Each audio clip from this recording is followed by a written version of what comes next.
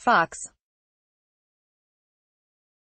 Yet National Security Advisor John Bolton refused to take it. After Bolton had another chance to cheerlead newly reimposed Iran sanctions and lead us closer to the war he's been lusting for, Doocy asked about Russia's interference in our elections. Noting that Bolton as well as the Homeland Security Secretary and all the intel chiefs spoke last week about Russia's continued efforts to meddle in our elections, Doocy added, given that, it kind of looks like Putin told our president a lie. It seemed like a no-brainer of a question. But Bolton tap danced. Bolton, well, he has said on numerous occasions the Russian state is not involved in election meddling.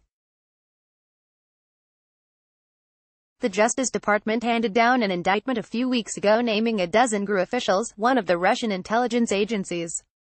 I don't think there is any question that the Russian state is involved and that's why the president wanted the foreheads of some of the key agencies involved in detecting and preventing foreign election meddling to go out and tell the American people exactly what they're doing.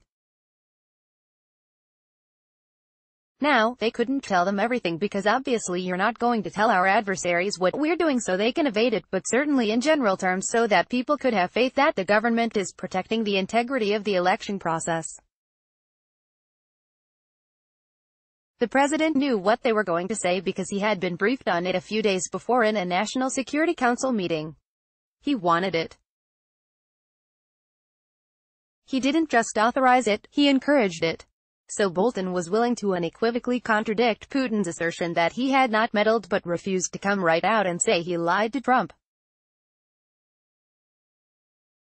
Given that Trump is the fan-in-chief of Fox, Trump has showed no reluctance to call lots of other people liars.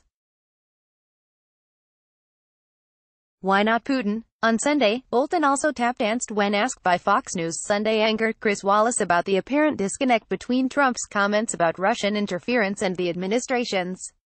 Of course, Fox. Bolton refused to say Putin lied to Trump about interfering in our election below, from the August 7, 2018 Fox.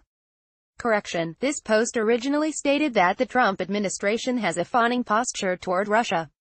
It's Trump, himself, who has a suspicious love for Russian President Vladimir Putin.